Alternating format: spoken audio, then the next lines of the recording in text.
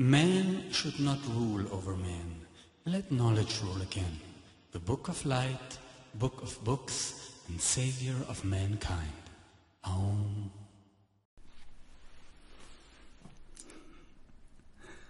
Herzlich willkommen, meine Lieben, zu Folge 2. Die Bibel lügt.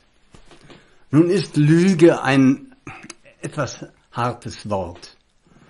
Und äh, Nila Kanter sagt immer, Lanu, pass auf. Also gut. Aber irgendwo müssen wir ja mal sozusagen die Grenze ziehen zwischen äh, ja, Erfindung und Wahrheit und Interpretation und Wahrheit. Und ich hoffe, mit meinem Buch Die wahre Bedeutung der Bibel, natürlich auch mit den anderen Büchern, Buch des Lichts, elf Bände und so weiter. Aber diese ist also praktisch spezialisiert auf die Bibel, wobei alle zwölf Bände des Buches des Lichts dann insgesamt auch die Bibel sind. Aber vielleicht in einer Form, die etwas mehr Sinn macht. Also heute wollen wir mal zum Begriff die Bibel überhaupt äh, kommen.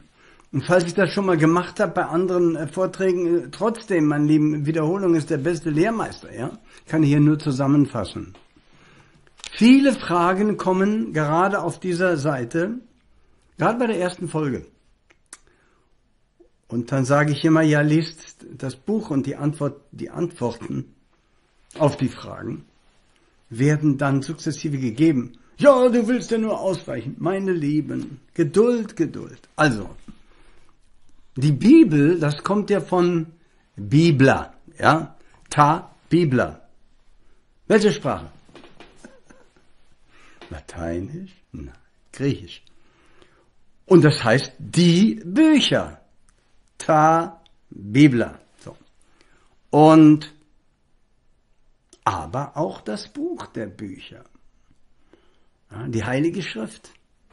Man könnte sagen, die Bibel ist, äh, also laut Auskunft, eine Sammlung von heiligen Schriften. Ja? Und die werden von den Christen als Urkunden der göttlichen geoffenbarten Religion angesehen. Ich muss dazu gleich sagen, das Buch des Lichts im Original und auch in Übersetzungen ist natürlich die Quelle. Nicht nur aller Religionen, sondern Wissenschaften und so weiter. Ja. Und weil wir heute diese Probleme haben, brauchen wir eine vereinende Schrift. Und die ist das Buch des Lichts inklusive seiner Zweigschriften.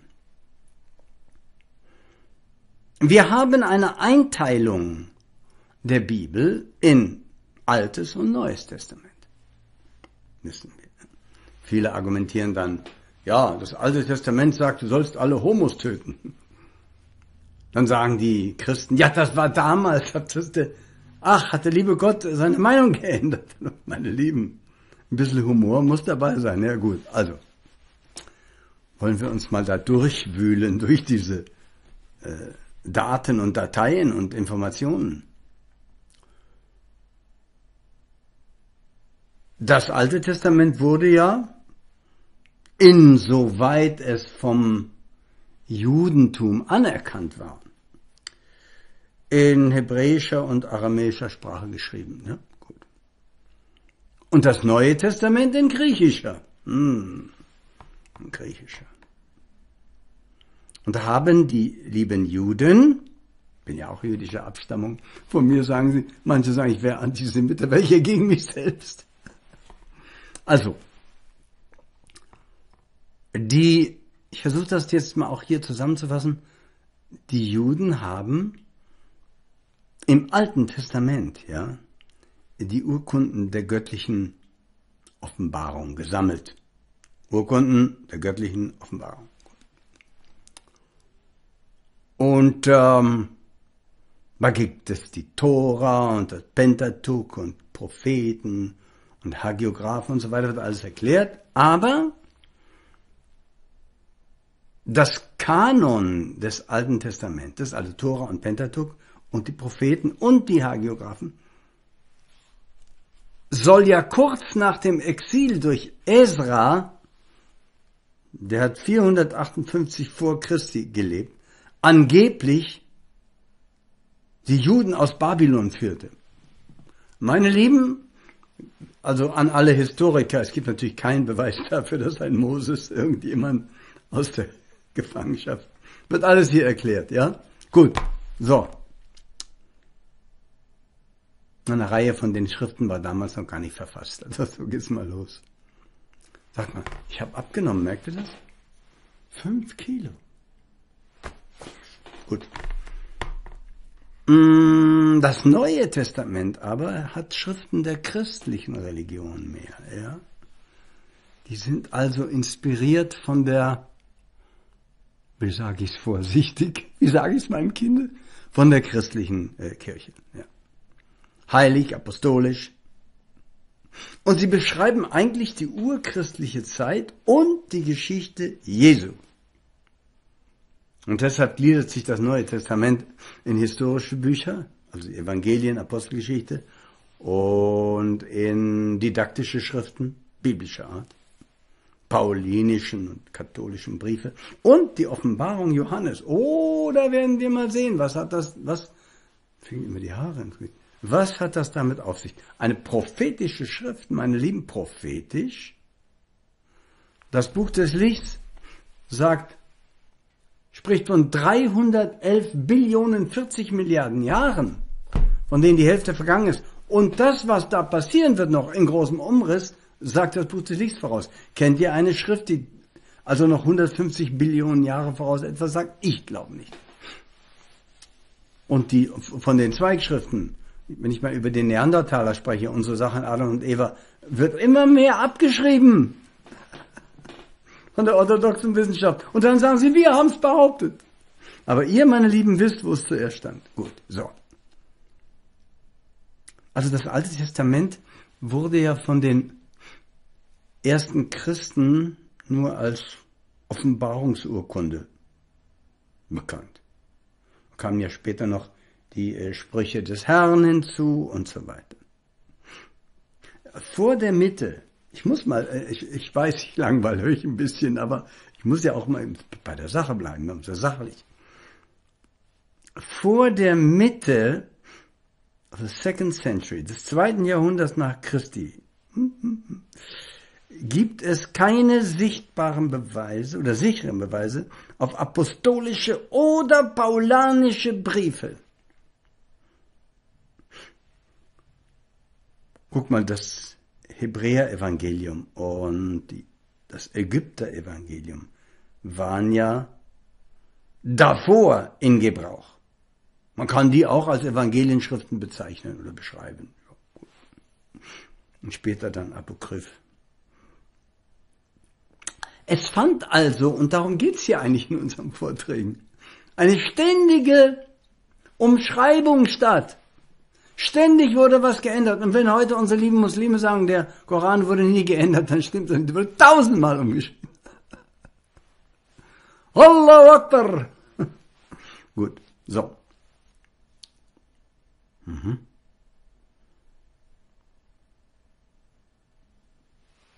Zum Beispiel der Marcion, das ist Mitte zweite Jahrhundert, ja, nach Christi, in der Absicht, die urchristliche Lehre wiederherzustellen hat das Evangelium des Lukas und die zehn paulanischen Briefe verstümmelt. Verstümmelt.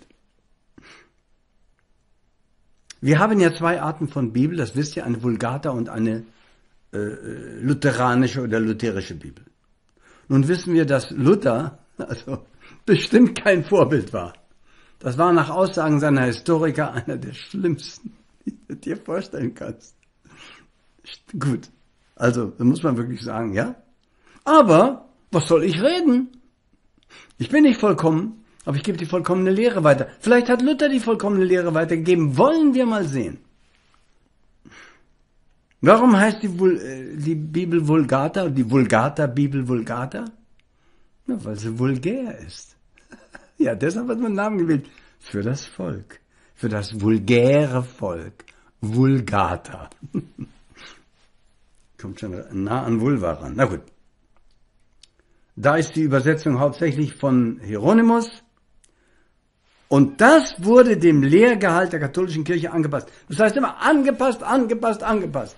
War zehn Jahre im Kloster. Ich weiß, was los ist. Also an der Bibel wurde ständig rumgeändert, umgeschrieben. Und ja, gefälscht, absichtlich.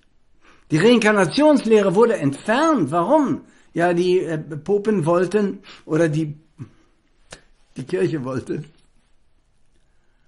dass die Leute sagen, wir haben nur ein Leben. Das schaffen wir nicht in dem Leben. Dafür haben wir euren Jesus. Tretet unserem Verein bei und in einem Leben seid ihr erlöst. Alle Sünden vergeben. Der ist für euch gestorben. Meine Lieben, und deshalb ist es wirklich angesagt jetzt in dieser Vortragsreihe, gnadenlos mit dem Buch des Lichts und seiner Zweitschrift hineinzuleuchten. Denn wir müssen von Glaubenden zu Wissenden werden. Also die klassisch deutsche Bibelübersetzung ist ja vom Luther, die Lutherbibel, aus dem Griechischen. Neuen Testament. Hierzulande am weitesten verbreitet. Naja, dann war später in, ich glaube, 1530 oder 40, erschien die gesamte Bibel in der Übersetzung. Und bis zu seinem Lebensende hat der liebe Martin Luther an der Vervollkommnung dieser Bibel gearbeitet. Äh, ich will euch nicht zu sehr ähm, schocken, aber irgendwann muss ich auch mal drauf kommen, was dieser Mann war und was der für Aussprüche gemacht hat. Na gut, also. Der Luther konnte, Entschuldigung, dem Volk aufs Maul schauen, hat die Bibel nach Belieben übersetzt, so dass auch die Metzgerfrau und der Bauer sie lesen konnten. Ja? ja? Guck mal, es gab ja eine Zeit, war die lateinische Bibel, die durftest du gar nicht lesen, konnte auch gar keiner lesen. Das war nur den der Kirche vorbehalten. Und die haben die lateinischen Worte gehört, ja. Et cum spirito tuo quod era demonstrando Amen und so. Und, so und waren voller oh, Ehrfurcht. Wer sowas sagt, der muss ja recht haben. Ich verstehe es zwar nicht, aber es macht Sinn. Genau. Und wie ich immer so schön sage, und im Himmel ist Jahrmarkt. So, und ich meine, der Luther, der hat schon, der hat einiges Gutes schon gemacht. Der war gegen den Ablasshandel. Ach, der Ablasshandel geht bis heute. Komm, hör auf. Wenn du also arm warst, dann hast ein paar Groschen bezahlt, dann konntest du für mindestens fünf Tage in den Himmel nach dem Tod. Hm. Hast du ein bisschen mehr bezahlt, bist du schon eine Woche. Ja, wenn du natürlich der Kirche 100.000 Gulden oder sonst was spendest, ja, da bist du Millionen von Jahren im Himmel. Hm? Ich sage euch das, das läuft bis heute noch so. Ja, was glaubst du denn? Na gut.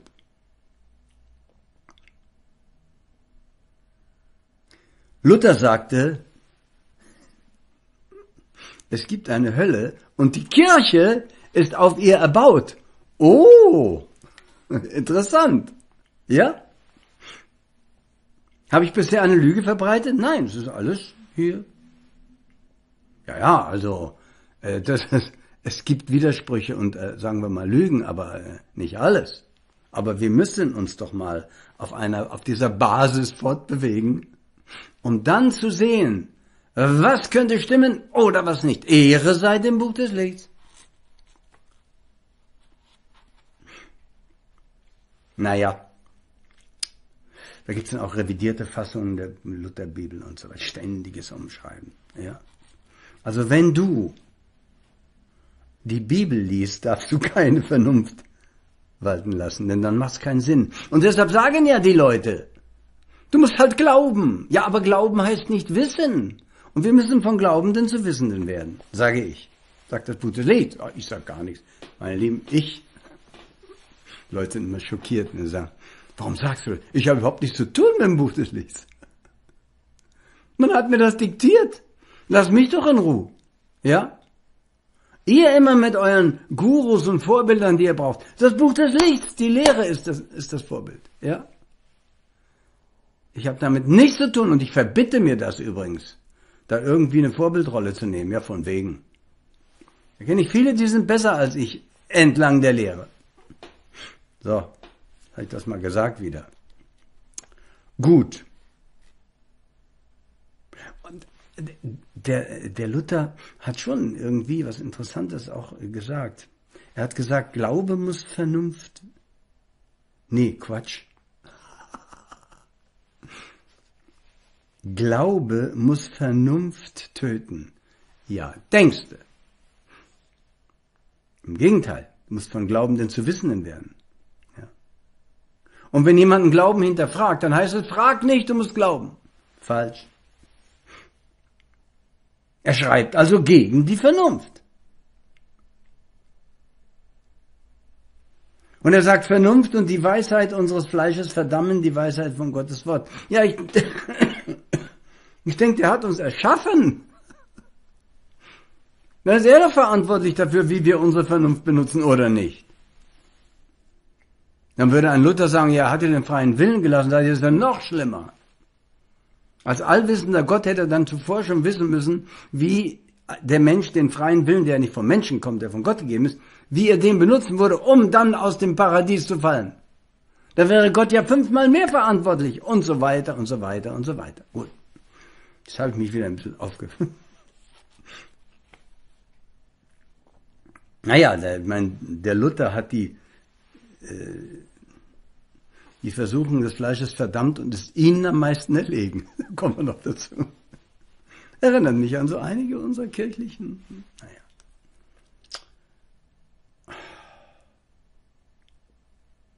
Und er sagt, auf Erden gibt es nichts Schlimmeres als die Vernunft. Dem widerspreche ich.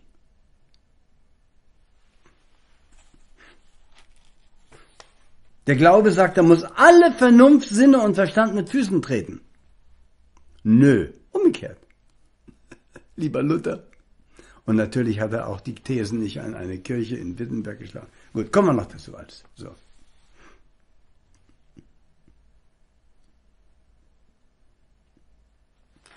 Er stellt sogar den Glauben höher als, äh, also über die Tugend. Das sagt das tut das nicht. Sittenreinheit ist eines der, oder das Anstreben von Sittenreinheit, wir sind ja alle keine Heiligen, ist eines der höchsten Werte, die wir haben. Indem wir uns lösen von den körperlichen Verlangen.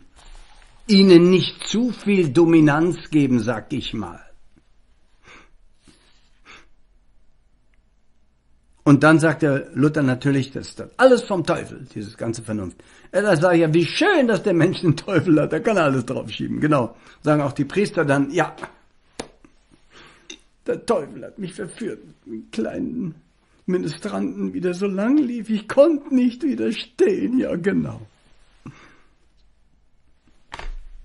Martin Luther war, und wir müssen auf ihn zu sprechen kommen, ein Hexenjäger par excellence. Ja? Der hat kurzen Prozess gefordert. Für Andersgläubige. Todesstrafe. Für alle Täufer und Ketzer. Der Folter war er auch sehr zugetan. Ja? Und der Antisemit per se war Martin Luther. Ja, so einem folgen Sie hier. Ja, da sagt er nichts dazu, oder? Er schreibt in 1543, gegen mich schreibt er, von den Juden und ihren Lügen. Das ist unglaublich, mein Lieben. Ich muss euch das einmal kurz vorlesen.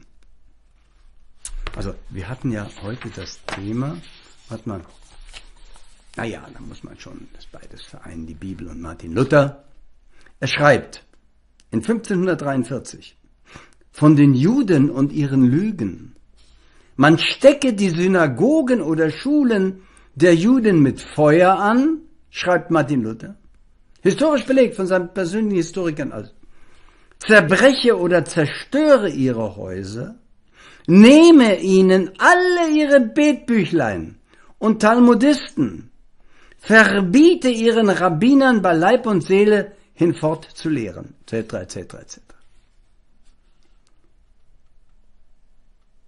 Nicht ohne Grund, meine Lieben, sind 1938 die Synagogen an Luthers Geburtstag haben die gebrannt. 1938. ja, ja. Und ja, ich, ich, pass mal auf. Ich habe euch gewarnt, jetzt kommt Luther. Das Bürschlein. Alles historisch belegt. Er schreibt über die Frauen. Ob die Frauen aber auch müde und zuletzt tot tragen, das schadet nicht. Lass sie nur tot tragen, sie sind ja da so da. Mein Lieben, ich will euch nur darauf aufmerksam machen. Ihr folgt einer Schrift von so jemandem, der ja auch behauptet, er hat das dann alles umgeschrieben und gemacht. Ich behaupte nicht, ich habe hab nur geschrieben, was mir diktiert wurde. Der Luther aber hat fertiges Material genommen und hat es nochmal umgewurstelt.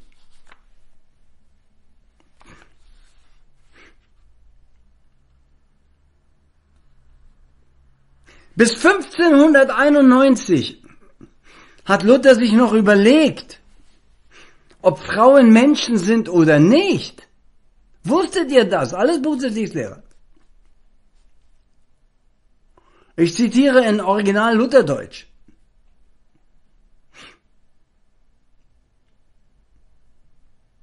Naja.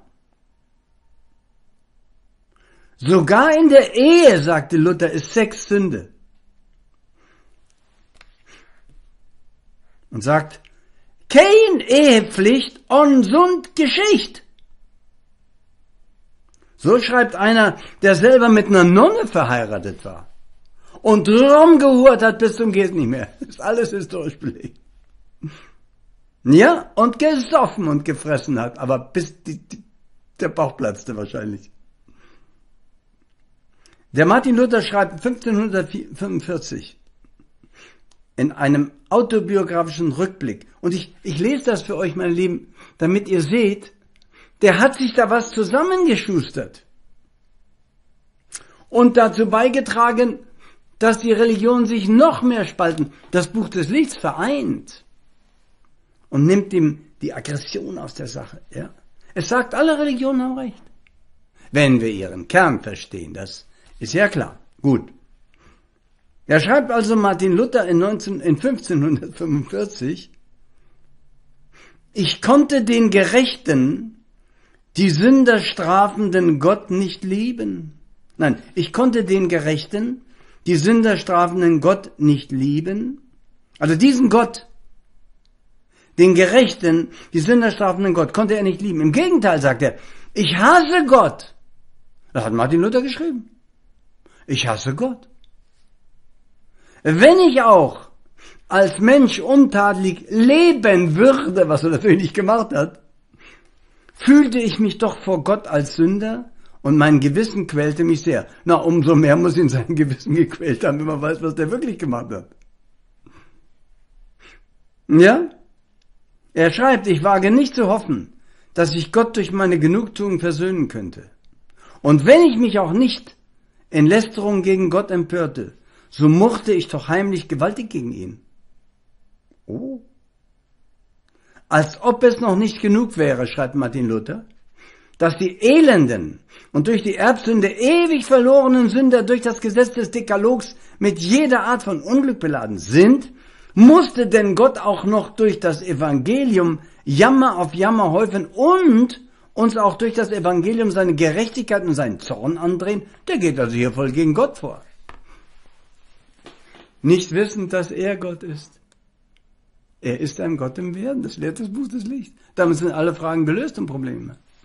Du bist so unvollkommen, weil du dich selbst verursacht und geschaffen hast. Das ist so lange her, dass du dich nicht mehr erinnerst, aber die Grundlagen dafür, die Basis hast du gebracht und wurdest von anderen auch noch assistiert. Darum steht ja auch in der Bibel, wir haben den Menschen erschaffen. Wir sind eben mehrere Kräfte, die die zeitlose, ewige und sterbliche, todlose Monade versehen mit äh, Hüllen. Ja. Oh. Im, Im Römerbrief 1,17, da sagt der liebe Luther, also der kommentiert den, darin im Evangelium wird Gottes Gerechtigkeit offenbart und damit wollte er nichts zu tun haben. Hätte er aber die wahre, jetzt pass mal auf, ihr Lieben, Mensch, wenn Luther, vielleicht hört mich Luther in den Ohren eben, hätte Luther die wahre Bedeutung der Bibel erkannt, verstanden, hätte er die Möglichkeit gehabt, das Buch des Lichts schon zu lesen, dann wäre ihm solch ein dummes, beleidigendes, Gott beleidigendes, törichtes Schreiben und das Schreiben der Lutherbibel erspart geblieben. Meine Lieben, darum ist die Zeit jetzt gekommen mit einem, Entschuldigung, naja, was soll ich machen? Ich wurde mit doppelter Lungenentzündung geboren. Dass ich noch lebe, ist ein Wunder. ja. Und ähm, damit wollen wir mal schließen hier. Folge 3 wird heißen die Lügen der Bibel und die Kirche. Und die Kirche. Ehre sei dem Buch des Lichts.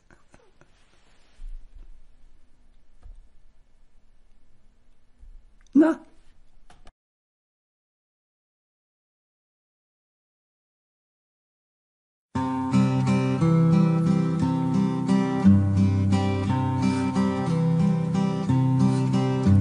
Manchmal bin ich traurig, fühl mich so allein. Ich frag mich, warum muss das denn so sein? Ich höre eine Stimme von oben herab. Weißt du denn nicht, wie lieb ich dich hab? Danke, Jesus. Ich hab mein Jesus, mein Jesus so lieb. Er ist Gottes Sohn, der sein Leben mir gibt. Durch seinen Tod bin ich neu geboren, ohne mein Jesus da wär ich verloren.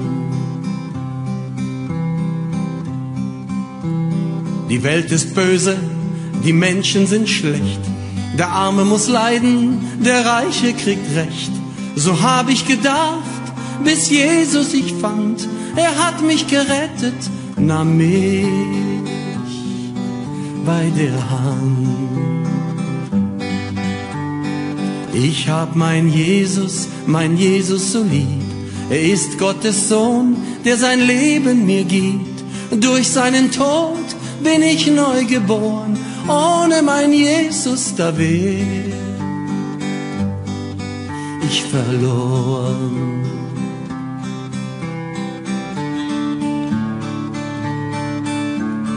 Die Mama ist tot, der Papa ist weg. Manchmal da fühle ich mich wie der letzte Dreck. Ich bin ein Versager, in Sünde geboren, ohne mein Jesus da will